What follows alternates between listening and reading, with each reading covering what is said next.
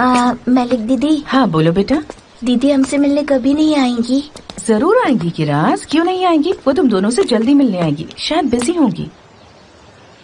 दरअसल आज रात हम दीदी को सरप्राइज़ देना चाह रहे थे। हम्म कैसा सरप्राइज़ एक पार्टी रखेंगे सारा खाना हम तैयार करेंगे। हम सबको बुलाएँगे अपनी दीदी को भी। उन्हें बुलाने का सिर्फ़ यही तरीका है। कैसा लगा आइडिया कैसा रहेगा अगर हम सब पूरी रात एक साथ रहें? मैं तुम्हारे साथ हूँ।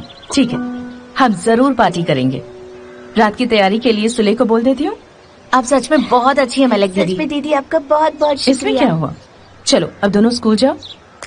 टिफ़िन खा लेना ओके? खा लेंगे। ठीक है दीदी।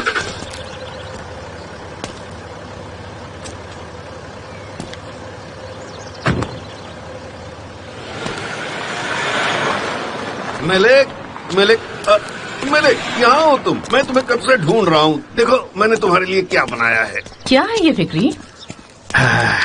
जिस डॉक्टर ने ये बनाया था ना उससे अब अंटार्कटिका भेज दिया है पेंगुइन्स पकड़ने के लिए। अच्छा सच में?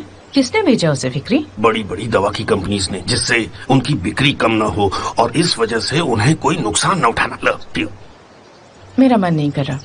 पता है मैंने कितने प्यार से तुम्हारे लिए ये बनाया है। एक बार पी कर तो देखो, भरोसा रखो। बहुत फ़ायदेमंद है, सब पी जाओ। नहीं नहीं, रुको नहीं। मलिक नहीं।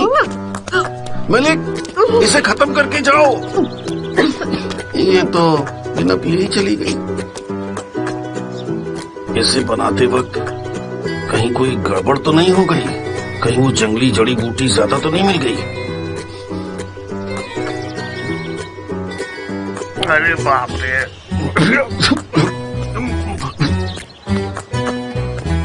मलिक मैं भी आ रहा हूँ। मैं इसमें एक चीज़ मिलाना भूल गया था। ऐसे इतनी रात में तुम आइए, आइए, यहाँ क्यों लेकर आए हो? इन बच्चों ने सरप्राइज़ रखा ये रहा तुम्हारा सरप्राइज़ प्लेस तो ये था मेरा सरप्राइज़ शुक्रिया बच्चों आओ मेरे पास आ जाओ। बहुत मिस किया मैंने तुम्हें। आ जाओ। मैं लाया इन्हें? आओ कैसे हो तुम? दीदी सरप्राइज़ पसंद आया? बहुत पसंद आया फीको बहुत अच्छा लगा। तुम्हारा आइडिया था ये? दीदी आइडिया तो हम दोनों का था पर सारी तैयारी मलिक दीदी ने की। इस सब के लिए आपका शुक्रिया। इसमें शुक्रिया की क्या बात है? चलो सब साथ में खाना खाए। रुको रुको रुको रुको। लोग ये समझोगे नहीं पर ये सारे ग्लास क्रिस्टल के हैं तो पानी जरा आराम से संभाल कर पीना वरना ये टूट सकते हैं। इसके अलावा फर्श पर इधर उधर चीज़ें फेंकना मत और कोई भी जाकर स्विमिंग पूल से पानी नहीं पिएगा क्योंकि रोज हम उसमें दवा मिलाते हैं। वो भी सुबह समझा रहे हो बाबा? तुम्हें देखकर तो ऐसा लगता है जैसे तुम ही कई दिनों से नहाए नहीं हो। क्या बक रही है? लड़की तुम कौन हो हाँ? कौन है ये? मुझे क्या पता तुम्हारी इतनी हिम्मत कि मुझे बाबा बोला। ये लड़की कहीं मेरी ही औलाद तो नहीं है। मुझे कुछ नहीं पता। जाकर मेरी माँ से क्यों नहीं पूछ लेते? वो भी आपकी ही उम्र की है। वैसे खूसट बुढ़ा है कौन? मेरे पापा कोई बात नहीं जाने दो। मुझे पता होता आप कौन है तो मैं आपसे और अच्छे से बात कर लेती। वो ये मुझसे क्यों लज रही है? सच बताओ ये मेरी कोई बेटी बेटी तो नहीं नहीं नहीं सच में नहीं है। ये फिलिस की नई दोस्त है फिक्री भाई। जबान की बड़ी तेज है इसलिए जरा बच के। हाँ, तो पहले बताना था ना? आ जाओ आ जाओ आ जाओ। आओ बैठ जाओ सब। चलो चलो चलो। ये घर कितना बड़ा है ना? बिल्कुल फ़िल्मों जैसा। सही बात है यार। यहाँ रहने वाले लोग कितने अमीर होंगे।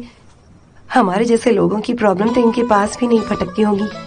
फिर भी यार हम लोग इन लोगों से कितने ज़्यादा अच्छे हैं सुकून में हैं और वैसे भी साथ कुछ नहीं जाता हाँ?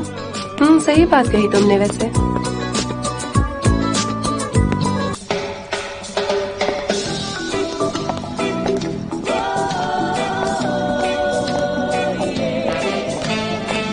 भाई नया स्कूल कमाल का है। वाकई में? वाकई में बहुत बड़ा है भाई। पढ़ाई नहीं करोगे तो नए स्कूल का कोई फ़ायदा नहीं है। वैसे काफ़ी देर हो गई है। हम लोग खाना भी खा चुके तो अब रुके किस लिए? हैं सही कहा। चलो अब निकलते हैं। समझ में नहीं आता हमारी ज़िंदगी ज़्यादा अजीब है या फिर ये दुनिया? कुछ दिन पहले तो हमारे पास खाने तक के पैसे नहीं थे। और आज देखो हम अपनी सौतली माँ के घर में आराम से ऐश कर रहे हैं। भला और क्या चाहिए किसी को हाँ? मैं तो अभी जेल से छुट्टी हूँ। मुझे तो आसिम से बचने के लिए अंकारा जाना पड़ा। यार डैड ने जूजू के साथ कितनी सारी रातें गुजारी हैं। और अब तो वो लैटिन डांस करते हैं। अब मैं और क्या बताऊँ? खुद ही देख लो ना। वैसे आज हम यहाँ है। कितना अच्छा है ना? आपको पता है दीदी ये घर बहुत अच्छा है और बहुत बड़ा भी। अगर आप यहाँ रह जाएँगी तो और भी अच्छा होगा। मेरे ख्याल में तो हम सबको यहाँ रहना चाहिए है ना? कैसा आइडिया है? हाँ और वैसे भी हम तो यहाँ एक साथ रह भी सकते हैं ना? बिल्कुल पहले की तरह। हम अपने उसी घर में रहेंगे समझे फीको? हमारा घर ये नहीं अभी वही है। ठीक है। तुले कहाँ है? ये अब तक नहीं भूला तुले कहाँ है? वो रही तुम्हारी तुले दीदी।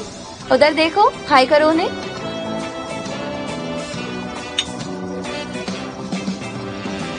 क्या बात है कितना प्यारा लग रहा है मेरा इसमो मुझे किसी दोगे? किसी दे दो? दे दो मुझे? मेरा प्यारा प्यारा इसमो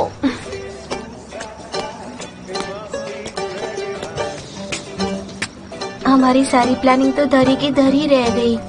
अब क्या करे फिको? फ़िक्र मत करो किरास मेरे पास एक और प्लान है। अब क्या प्लान है? हम बीमार पड़ जाएँगे। फिको प्लीज़ फिर शुरू मत करना। किरास तुम ठीक से समझ नहीं रही हो। सोचो अगर तुम और मैं बीमार पड़ गए तो दीदी हमारे ठीक होने तक यहीं रहेगी हमारे साथ। और उसके बाद हमें बस उन्हें यहाँ रहने की आदत डालनी होगी।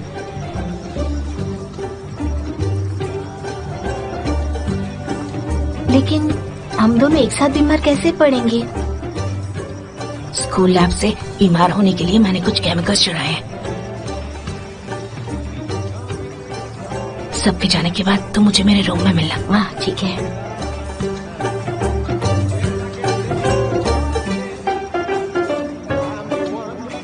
क्या ये औरत बहुत अमीर है? और क्या घर नहीं देखा क्या? तुम्हारे पापा में इन्होंने क्या देखा? असल में उन्हें फिक्री भाई की ज़िंदगी जीने का तरीका पसंद आया। हमारे फिक्री भाई ना एक वक्त पूरे मोहल्ले के जान हुआ करते थे। बहुत कमाल है वो। वैसे उन जैसा इंसान मैंने अपनी पूरी ज़िंदगी में नहीं देखा।